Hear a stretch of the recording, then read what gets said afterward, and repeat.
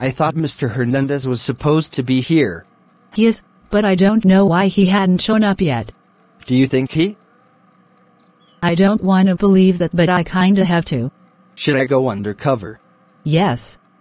Meanwhile, Okay, he is right at the restaurant. anything else?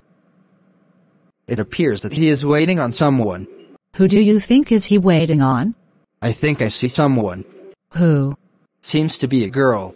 Uh-huh. Okay, let's get him. Mr. Hernandez. Lizzie? That's right. How dare you slap me? How dare you slap me? How did you manage to find me? I hired Freddy to spy on you and to see why you wasn't home. Look, Lizzie, I am sorry I kept this from you, but I just wanna have dinner with my friend. That's not the point, and your apology is not going to cut it this time. Mr. Hernandez, how dare you skip family dinner?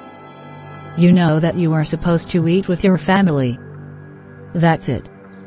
You're grounded for six decades. Go to your room now. Wow.